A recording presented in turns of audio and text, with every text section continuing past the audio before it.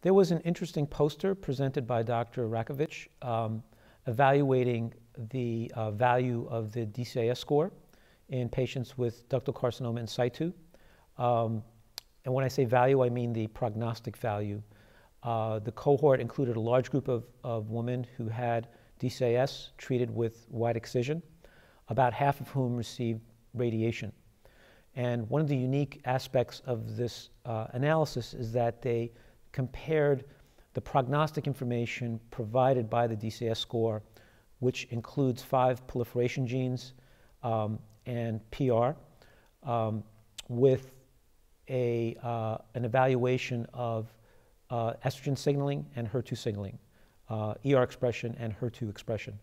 And what they found was is that the DCIS score, which includes the proliferation genes, not reflected obviously by just looking at ER or looking at HER2, provided more robust prognostic information, uh, particularly in the patients in whom did not receive radiation.